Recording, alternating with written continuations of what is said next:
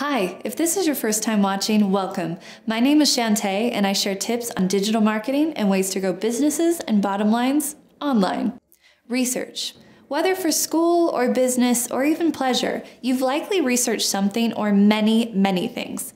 If you're online, then you're probably well versed at researching using the Google machine. You may even be well versed in using advanced search and filters.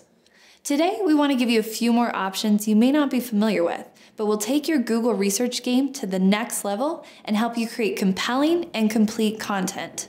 If you like any of these, give us a thumbs up and don't forget to subscribe to the channel. I post videos every Thursday.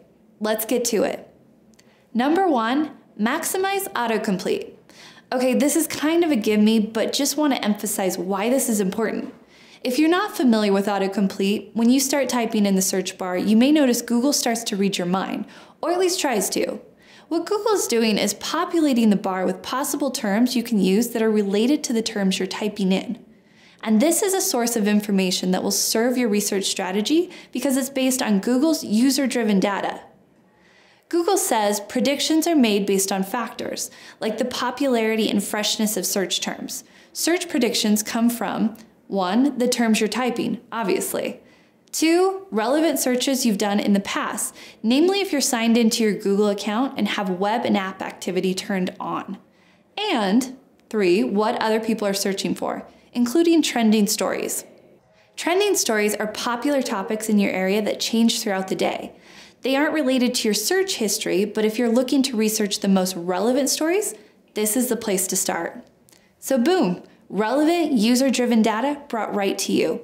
Just type in a few starter words and let autocomplete get you started. Number two, use Google Scholar. By definition, Google Scholar is a free, accessible web search engine that indexes the full text or metadata of scholarly literature across an array of publishing formats and disciplines. Go to scholar.google.com and you can search by article, including or not including patents or case law. If you select case law, you can then select federal courts and state specific courts.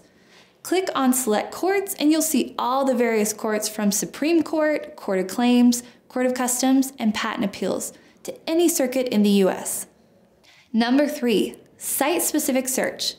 This is a powerful way to search any website out there and particularly useful when you're looking for a specific term on a website, reaping far better gains than using the website search bar.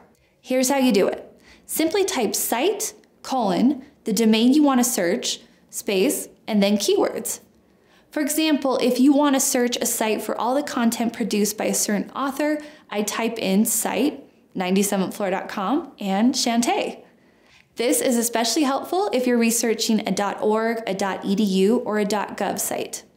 Number four, narrowing your options. Now that you know how to do a power search of a website, here's a way to narrow your options to only the most relevant. Add in additional cues for Google in quotations. For example, add allintext when searching for a group of words together, and date range to find information from a specific date. Number five, symbols. Finally, take it up to the ultimate level by adding in the appropriate symbol to your search query. Use the hyphen to narrow results with words that have multiple meanings. For example, when you're searching for the animal cat and you don't want info about the bulldozing company.